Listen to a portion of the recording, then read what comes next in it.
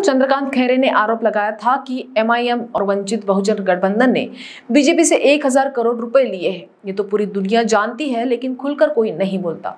दुनिया को जानकारी कब मिली कहाँ से मिली और कहाँ इस्तेमाल की? मुझे मानहानि के मुकदमे से डर नहीं लगता।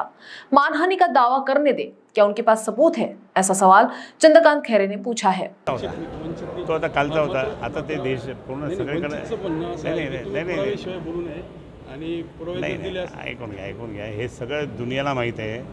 हे आता कोणी पण उघडपणे बोलायला पण तयार नाही आहे. त्यामुळे सगळं दुनियाला माहिती आहे की हे कोणी घेतले कसे झाले काय झाले कुठं वापरले काय वापरले हे असं. यांचं मानहानीच्या दाव्याला तुम्ही कसं बघता करू द्या ना काय फरक पडतो? मी नाही घाबरत. मी घाबरणार पण नाही. पण ते पुरावा तर त्यांच्याकडे पण पाहिजे ना. बाय सब जानना चाहते हैं।